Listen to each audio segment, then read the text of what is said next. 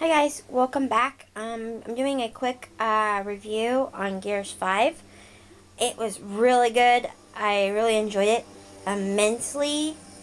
Um, see what can I say about it? Um, there were some frustrations here and there, but you know that's what you expect with any game, right? And I enjoyed every minute I played this game.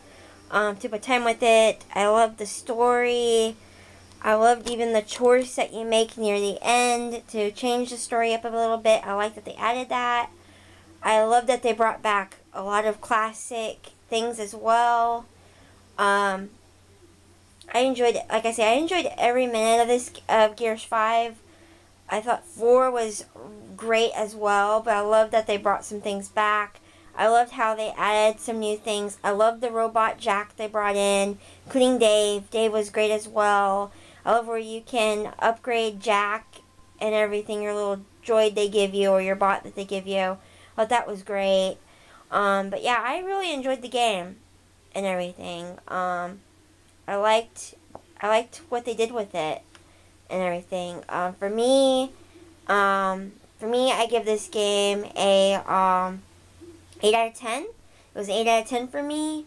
Um, I enjoyed, like I said, I enjoyed the story. I enjoyed finding collectibles. I enjoyed the choice that they did. I loved the exploratory that they opened up later on in the game and everything. Um, I just had a couple of glitch issues, which is normal. Um, you know, just with any game, you get these glitches. I had this one glitch happen um, where you're supposed to have Jack do the little platform when you go back to this one area and and I had to restart come out and restart the whole game again because it didn't um it didn't do that little action it was supposed to do. But all in all, you know, it didn't take away from the game for me. Um, I really enjoyed every minute of it. I would definitely play this game over and over and over like I've done with any other game. But yeah, it was just an 8 out of 10 for me. Um, but I, I will come back and I will be playing this game more. I mean, I really enjoyed it. I'm looking forward to the next Gear 6 that they're going to be coming out with. But yeah, you guys can disagree or, you know, it's okay if you guys want to disagree. Um, if you guys want to leave any comments, go ahead and leave in, any comments that you want to comment on in the below section. If you like it, give it a like, you know, I would, I would appreciate it.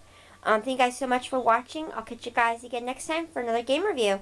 Bye guys, thanks for watching.